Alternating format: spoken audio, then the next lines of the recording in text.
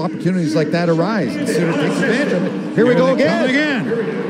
Rowney, cross, in, scores! Oh, Bertuzzi! oh, Well, good things come to those who wait a heck of a long time. Well, there's another penalty killer that's got some offensive touch to his game. Well, that'll take the heat off the power play. It's all about special teams, and you got to score them somehow.